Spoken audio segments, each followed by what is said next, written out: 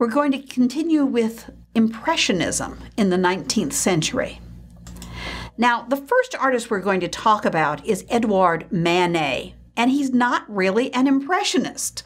Uh, generally, when people are, you know, creating these textbooks and they have to put people under uh, period titles, they'll put him under impressionism because he influenced the impressionists. He knew the impressionist. His sister-in-law, Berthe Morisot, was an impressionist. But he did not exhibit with the Impressionists, and his style, as you'll see, is somewhat different. But what influenced the Impressionists with his work was his interest in light and the actual effects of life of light and how he comes to represent artistic freedom the um, idea of painting the way that you want to paint not what uh, someone else the critics the royal academy you know, uh, not although someone else tells you how to paint. This painting by Manet became a kind of pivotal point in art history. It was very controversial and it came to have a great deal of importance. Some people consider this the first painting of modern art and they sometimes will start their chapters on modern art with this painting. So that date, 1863, was a kind of pivotal moment in art history. The title of this, which is always given in French, is Déjeuner sur la herbe, or Luncheon on the Grass. And here you see a detail of the picnic, as it were, and you can see that uh, Manet is painting with very uh, free, fluid brushwork. But by this time, that's not shocking. Um, people can exhibit with smoothed out brushwork, very hard edged, painting with disegno, as it were, or they can paint freely with free brushwork. Either one, depending on what they're doing. But this painting shocked the public and the critics when it was exhibited at the Salon des Réfusés. So the first thing we have to do is say, well, what's the Salon des Réfusés? So we have to go back and discuss the official salon. Now, the word salon just means a large hall. Um, in, in, Italian, it would be a sala. Um, but the word salon came to refer to the official juried exhibit of the French Academy. Now, this was a government sponsored art exhibit, and it was juried. You couldn't just say you wanted to be in it and be in it. And it was very important because to be recognized as a professional artist, you needed to be juried into the, the salon. You know, it was it was the mark that you were a professional artist, um, and if you weren't in the salon, your career probably would go nowhere. Almost every year, there was this exhibit known as the Salon. Um, sometimes, of course, there was uh, political unrest uh, later on uh, when the Prussians invade in the early 1870s. Of course, they had no salon. Uh, but almost every year, they would have this big exhibit. Now, in 1863, so many works were rejected that the artists protested. And the emperor agreed to give them another exhibit to show their works. And I assume it was something like, oh, give them an exhibit, and then everybody will see why we didn't jury them in. Uh, but they did have another exhibit, and it was called the Salon des Refusés or the exhibition of the rejected or refused works. And people came to it, they wanted to see. So, why was the Salon des Refusés of 1863 so important? Well, here are some of the reasons. It introduced the art of Manet to the public and to other artists. After all, no matter how innovative an artist you are, if no one sees your work, you're not going to influence anybody. And these kind of overlap a little bit. It came to signify artistic freedom because it undermined the exclusivity of the salon. In other words, these people didn't get into the salon, but they still had their exhibition. Now, it didn't have an immediate change. Um, other things occurred, including uh, in the 1871 and 2, the uh, invasion of the Prussians and the um, Franco Prussian War. But 11 years later, in 1874, um, there was a result. A group of artists got together and put on their own exhibition. And they called themselves the Society of the Anonymous Artists. But we know their exhibition now as the first Impressionist exhibit. And they continued to have exhibits for some years. Okay, so let's go back to 1863. We'll talk about the Impressionists in a short time. When Manet's Déjeuner sur la Herbe was exhibited at the Salon des Refusés, it shocked the public. They considered it to be an immoral work. Okay, why? Why do you think this painting was so shocking? And of course, some of you will immediately say, well, you, you know, you've got some nudes there. You've got a nude woman. Uh, you've got a woman in sort of transparent, her chemise, you know, it's like a wet t-shirt would be today, I guess. It must have been the nudity. Well, not exactly, uh, because this was the first placed winner of the 1863 official salon. It's Cabanel's Birth of Venus. Uh, it's definitely a nude woman in a very provocative pose, um, but it's been given the name Venus. So she's a classical goddess, and uh, that makes it all all right.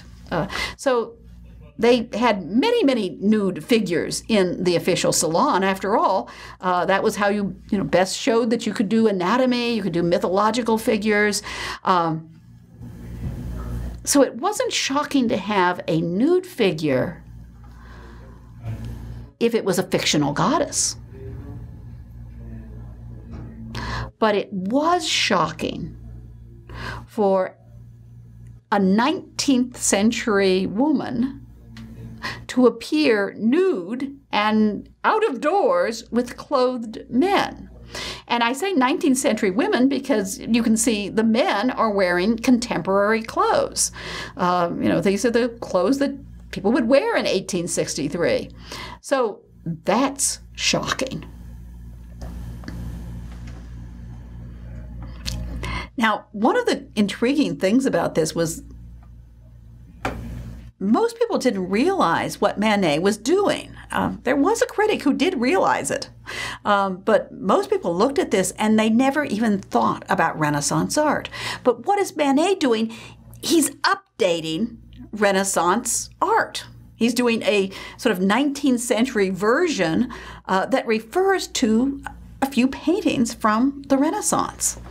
Uh, one of them is this painting, which has traditionally been attributed to Giorgione. Uh, and then sometimes it has been attributed to Titian, and sometimes people say, well, maybe Giorgione and Titian collaborated. But it is a Giorgionesque painting uh, by you know a famous 16th century painter. Uh, and it's known either as the Fête Champêtre or the Pastoral Concert and it's hanging in the Louvre. Now, in this painting, you have two nude women in a landscape, and you have contemporarily dressed, a 16th century dress, uh, on two men who are making music.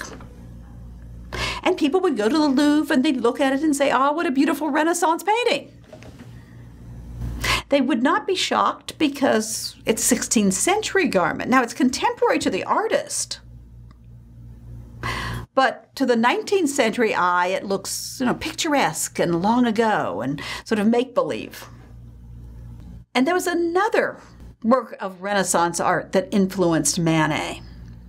Uh, this is an engraving uh, by a Renaissance engraver named Marc Antonio Raimondi. And he would copy works of art, and sometimes he would work with artists and um, engrave their drawings or their paintings. Um, and he was a, a very successful engraver. Uh, this is a judgment of Paris based on a lost drawing by Raphael. Now, remember, in the 19th century, Raphael was the great god of painting. He was supposed to be the greatest painter who had ever lived. So he's drawing from a Raphael. Uh, the subject here is from classical antiquity. Uh, Paris, that's the seated figure, was a uh, prince of Troy and he was chosen to decide which of the three goddesses was the most beautiful Juno or Hera, uh, Venus, Aphrodite, Minerva, Athena. And they all offered him bribes, and he took Venus's bribe. Uh, she said that he would be able to marry the most beautiful woman in the world. She didn't mention, and he didn't ask, uh, but that most beautiful woman was already married to a Greek king. And the result was the Trojan War. Um, this, the drawing is in part also based on some classical sarcophagi that are in the Vatican. So, you know, this has, like I say, very good credentials. Uh, it's a classical mythological theme. Uh, it's by the the design is by Raphael. And what does Manet do? He uses the three figures who are seated uh, on the right side, and his main figures are in exactly the same pose. He's drawn them from these river gods. So what he's doing is updating Renaissance art in a sense, putting it in a 19th century context. Now, there was one thing about the style that also bothered people. They felt that the figures appeared to be flattened, that they, they weren't modeled in chiaroscuro to seem solid and volumetric. And there's a reason for that. Manet looked at the actual effect of bright sunlight. And he realized that when something is in bright sunlight, uh, the shadows often disappear or almost disappear. Uh, if you look at the woman, you'll see a little shadow under her thigh and under her knee and under her elbow. Um, but you know, much of her body is not rounded in dark, medium, light tones. It, it does appear somewhat flattened. And when you look at the men, and their garments. They are wearing these black uh, jackets, and there is some different tones in there, some you know dark grays, for example. But once again, it's not the traditional. Um, showing on the side that's furthest from the light source, you have the darkest color. And then a little further, it's the medium tone. And then the highlights are the lightest tone. Um, you know, it also appears flattened. But Manet did that because he realized that's exactly what real sunlight would do. So rather than following rules about art and uh, things that you know people had been doing for centuries, uh, he actually observed and then showed his observations in his painting. Now, as I said, many people regard this as the beginning of modern art because it's come to mean artistic freedom and originality. And it embodies a concept that is much associated with modern art, and that's art for art's sake. Okay, during this course, we've looked at art with a lot of different functions. We've seen art that's supposed to help save your soul. We've seen art that tells you that the queen is wonderful, um, you know, which is uh, political propaganda sometimes. Uh, we've seen art that protests against cruelty. We've seen art that shows that you are wealthy and uh, can have something uh, beautiful hanging on your wall, which helps show your social status. Uh, we've seen art that uh, records people's appearance and social status for future generations, portraits. But now we're looking at a different kind of art. This is art that doesn't have to have an excuse. Um, it doesn't have to teach you a moral lesson. In fact, some people thought this work was immoral, but really it's amoral. It doesn't say, go out and have picnics in the nude, and it doesn't say, don't go out and have picnics in the nude.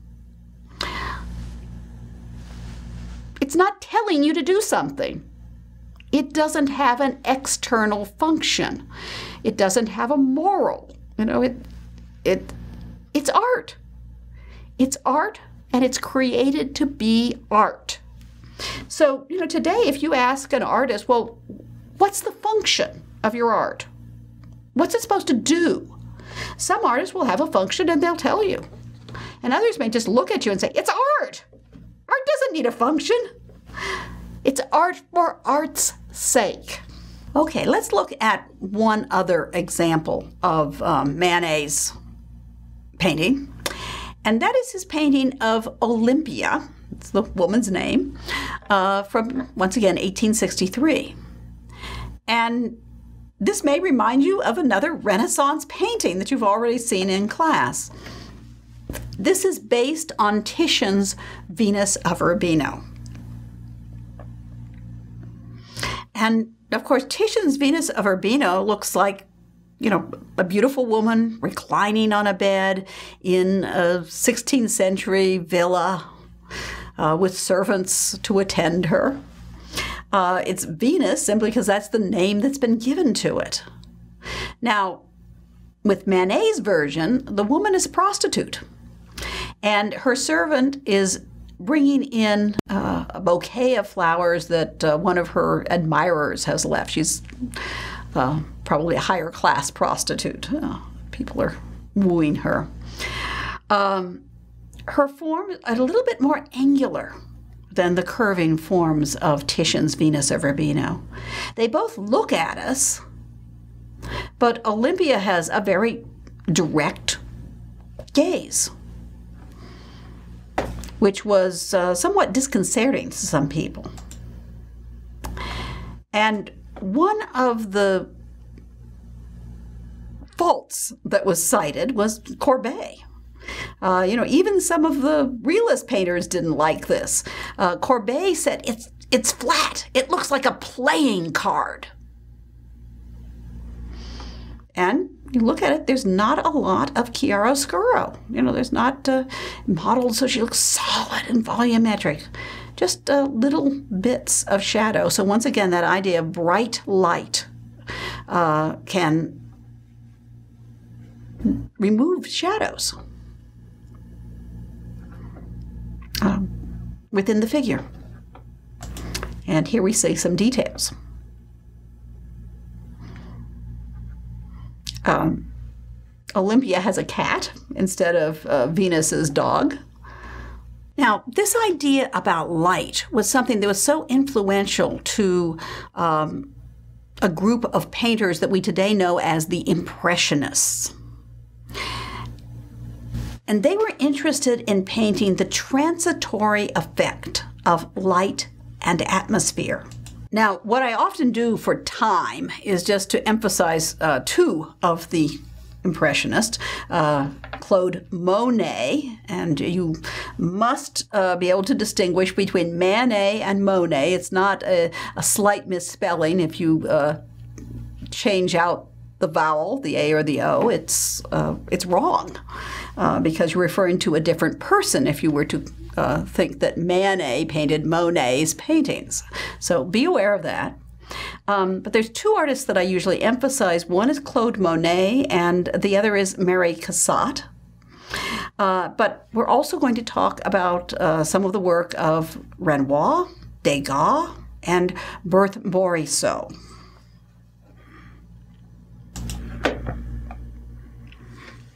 Impressionists were interested in the transitory effect of light and atmosphere. And they realized that light could even dissolve the form. In other words, uh, dissolve the appearance of solidity. And to do this, they would often use very light pastel hues. And they like to paint out of doors in what they called plein air, open air. Um, and Monet is a very good example of that. So we're looking here at know, one Monet painting. I'm just going to show you quickly uh, some. This uh, was in earlier editions of your text. And this is uh, a picture that I took myself uh, because I could go to the museum. It's in the National Gallery in Washington, and they let you take pictures there. And uh, so I will be able to show you some details here. Uh, they often used a te- technique known as broken color in which they would apply their paint in dabs of color with different colors next to each other, but not smoothed together. They're just absolutely separate. Uh, strokes of the of the brush, and the theory was that the eye would mix the color. So if you put uh, you know blue next to yellow, you know your eye would see green. Actually, of course, you frequently are very much aware of the different hues, and it makes a very lively uh, surface. But think about it light is all colors. So it makes sense to use, you know, many different hues. And uh, here I'm just going to show you some of the details. And you could also see that uh, the paint the paint can be very thick in places. You know, you have a real uh, texture to the surface. Okay. Remind you of that first Impressionist exhibit. In 1874, a group of artists got together and put on their own exhibition of paintings. Now, they weren't all what we today call the Impressionists, they were different styles. And, you know, they rented a hall, they uh, made a catalog, they made posters, did their own publicity, and people came. Public came, the critics came, and they saw, among other things, one of these paintings. Uh, both of these paintings are called Impression Sunrise. Uh, they're both by Claude Monet. Uh, the image on the left is the one that traditionally has been considered to be the picture that he exhibited under the name Impression Sunrise. Uh, and it has the date of 72 on it. So uh, he could have exhibited in 74. The other one has also been suggested as possibly uh, the Impression Sunrise that was shown. So I guess we don't really know. Uh, but this is the one that is uh, usually shown. Okay, he's showing you very freely painted scene of the harbor. Uh, it's a very foggy morning. Uh, some of the, the boats and the shore you can barely see. Uh, the sun is rising and sheds uh, some light uh, a, on the water and on the sky. But we can't really make out any details at all. You know, it's it's brushwork. And much of the same is true of this version of the painting, although the the um, sailboat in the foreground is much larger. Well, one of the disapproving critics focused on that painting.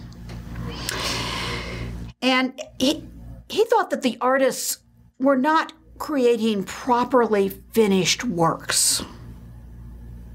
And he picked up on the title. And he's just thinks that this is a fraud. You know, they're just putting unfinished things sloppily put together. They're just showing an impression. They're they're nothing but impressionists. He meant it badly. But the artists liked that name, and so they started using it. So essentially, it was a pejorative term uh, that the artist turned into a positive. Now, Monet paints series of paintings. Um, he will show paint. Uh, he blah, blah, blah. now Monet painted many series of paintings. For example, he painted the Gare Saint Lazare, the train station. Uh, he painted um, grain stacks, sometimes known as haystacks, but they've decided now they're grain stacks. Um, and in the 1890s, he did a whole series of paintings of Rouen Cathedral in different times, uh, in different weather, with different atmospheric conditions. Now, when you're painting like these dabs of paint and all the juxtaposed colors, it almost seems to dissolve the form, to dissolve the, the physical structure of the cathedral I can't use these paintings by Monet in my medieval art course. I can't use them to show the structure of the Gothic church or uh, what sculpture was decorating the facade or what's in the stained glass window because we can't see those things. What we're seeing is a painting of light on the surface rather than you know, the architectural de- details of a Gothic church. Um, here is an example in the Boston Museum of Fine Arts, uh, and here is uh, the one in the New York Metropolitan Museum of Art. And there are just many, many versions of these. The story is told that Monet goes out and paints in nature. He paints from the motif. That's what they called uh, whatever they were painting. And, you know, the artists now were able to do that because they had um, they now had manufactured paints uh, that came in uh, tubes, and you could put them in a box, uh, and you could take them to different places. You didn't have to grind up the pigments in your studio and mix them in your studio and they could take a portable easel and a little fold up stool and their painting box and a bunch of canvases and go out and sit themselves down in front of the motif. And the story is that they would paint for as long as the light was pretty much the same way. But then, you know, clouds might come up or the fog burns off or uh, the sun goes across the heavens and the lighting conditions change. So they have to change to another canvas. But the idea was that they were working directly in nature and trying to capture the effect of light in nature. Now, with these particular paintings, Monet starts in nature and he does take them back and work on them in the studio. And we do have some details here, and you can see how uh, rough the, the uh, texture of the paint is, how it's it's built up, and how all these little dabs of painting, you know, give you this kind of amorphous feeling rather than defining a hard-edged form. And just to show you something else, um, Monet also painted a series of water lilies. Now, this was a long series of paintings, painted over decades. And he's painting the water lily pond at his home at Giverny. The late paintings you're going to see almost seem to have you know, almost no subject. They look almost abstract, but they are water lilies. And they are enveloped in light and color. So here we see, sort of standing off, we can see the Japanese bridge and we can see the water lily pond and some of the shrubbery growing at either side. Uh, and here's a somewhat later one, and we're looking in and we're just seeing the water lilies uh, on the surface of the water and uh, some of the light reflections in the water. And then one of his later ones if we didn't tell you this was water lilies, you might not realize it. You might think that this was a totally abstract painting that had no subject. Uh, but you can see how the, the form is being dissolved, and uh, you know he's showing basically light and color and paint strokes. Berthe Morisot uh, was one of the original Impressionists. And she wasn't an impressionist because she couldn't get into the salon. She was accepted to the salon. So she could have continued to, you know, paint for the salon. Um, she wasn't accepted every year, but she'd gotten work in. But she decided she wanted to work with these more radical painters. Uh, she knew Manet, and I'll tell you a little bit about her life. Uh, she's from the upper middle class. Um, and her parents are very interested in art. They have artists over for dinner. You know, they were friends of uh, Manet and Corot and, and other people. Uh, and they arranged to have art lessons for their daughters. Uh, that was something that was seen as a genteel accomplishment, and every lady should learn to uh, do a little drawing and painting. But they weren't expected to be professionals. And one day, um, their painting teacher goes to their mother and says, know, madam, if you let your daughters continue to paint art, they won't have just some nice ladylike little um, avocation. He doesn't use that word, I'm paraphrasing. They will become painters, and that would be a disaster. In other words, women should not be professional painters. It is a social disaster. Well, her parents let her continue to take art lessons. Uh, her sister did get married, and as far as we know, gave up painting unless she did it you know, just for herself. Um, but Berthe Morisot continued and uh, became a professional painter. Uh, she did marry. She married uh, Manet's brother, Edgar Manet. Um, and she had modeled for uh, Edouard Manet. Now, when I say model, don't get in your head nude model. She wasn't. She was a respectable girl. She modeled fully dressed from her neck to her toes, and sometimes even with a hat on. Um, so, uh, but she, you know, knew Manet, uh, but she goes this other route. She decides she's going to exhibit with the Impressionists, and she exhibits every year from the first year that the Impressionists have their Society of Anonymous Artists exhibit.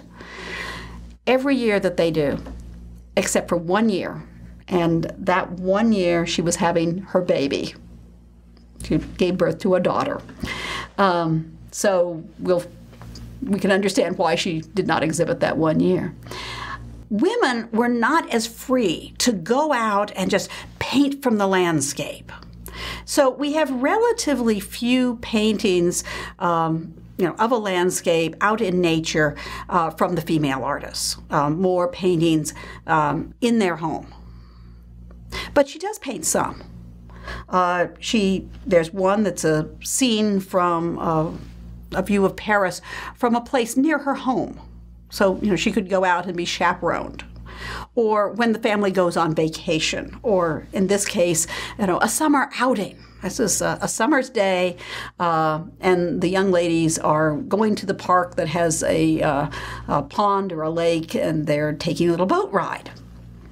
Uh, so it's you know sort of uh, upper middle class activities, and you can see how beautifully free her brushwork is, uh, filled with light and how she maintains to give you the feeling of you know a, a solid form and yet um, this incredibly free brushwork. So she's she really is just a marvel at painting. Uh, some of the details, if you got really really close, you might even not recognize you know what exactly it is.